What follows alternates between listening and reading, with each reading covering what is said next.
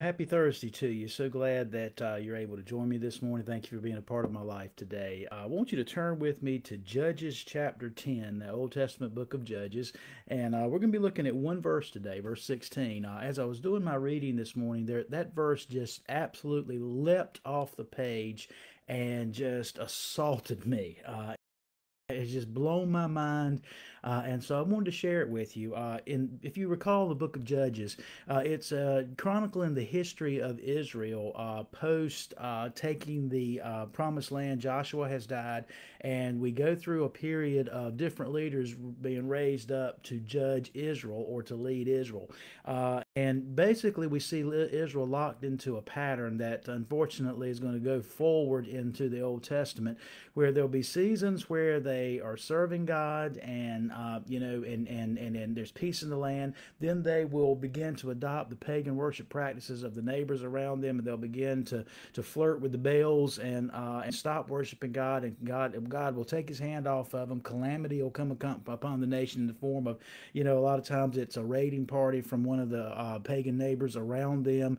Um, and then they'll cry out to God, and God will raise up a judge. I mean, this is a vicious cycle you see. And we see in Judges 10, uh, where once again, uh, verse 6, and the children of Israel again did evil in the sight of the Lord and served the Baals and the Ashtaroths, the gods of the Syri- of Syria, and the gods of Sidon, and the gods of Moab, the gods of the people of Ammon, and the gods of the Philistines. And they forsook the Lord and did not serve him. So the anger of the, of the Lord was hot against Israel, and he sold them into the hands of the Philistines and into the hands of the people of Ammon.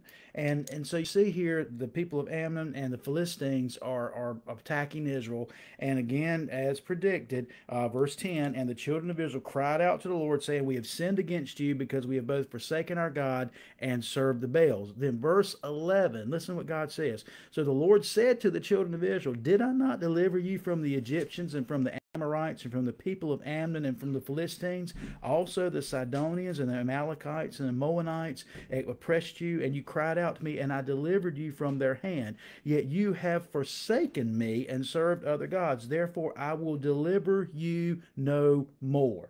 Here we see God saying, Your history is over and over. You keep turning your back on me, so I'm done. I'm not going to deliver you any more. And he says, verse 14, Go and cry out to the gods which you've chosen. Let them deliver you in your time of distress. Now, can you blame God? Over and over the children of Israel have have you know they've turned away from him and flirted and and committed adultery if you will with the other gods of the land. They keep turning their back on God. So I don't think anybody can blame God here for saying you know what? I'm done. I mean think of yourself. If you have someone in your life who who is continually over and over and over uh, you know doing that to you say your spouse uh, you know say you know they keep cheating on you over and over and over again. They come back back every time, say, Oh, I'm so sorry. That was the last time. I'll never do it again. But they do it again. We can understand here God saying, I'm done. Uh, verse 15.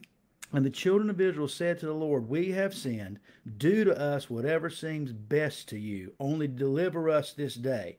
Verse 16. And here's the verse that knocked me on my on my backside this morning. So they put away the foreign gods from among them and served the Lord. And his soul, God's soul, could no longer endure the misery of Israel.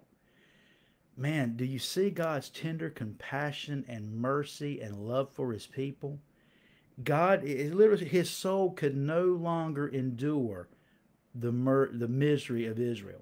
You know, as hurt as God was, you know, as as as as you know, as you know, you know, as as just heavy as his heart was because of the rebellion of the people, his love for those people caused him to, to, to, just have compassion. And he once again sends a deliverer to deliver his people Israel. You know, oh, you know, and again, I hate to tell you this, and because I've read the rest of the book, and I, you know, it, this wasn't the last time that Israel turned their back on God. And over and over, God shows his long suffering and patience. Now, understand their rebellion had consequences. Uh, people died. Uh, people that God, you know, God judged them because of their, their sinfulness and, and they're turning their back on him. So their, their rebellion had consequence, but God always showed himself faithful over and over and over. And he could no longer endure the misery of Israel. He saw the misery that they were in because of their sin. He saw the misery they were in because they were chasing false gods, gods that could never deliver what was being promised.